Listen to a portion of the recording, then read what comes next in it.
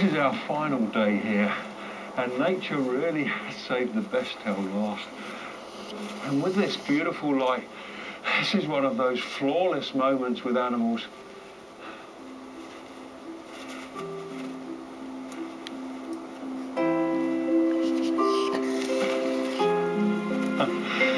It's perishing cold, minus 30 below.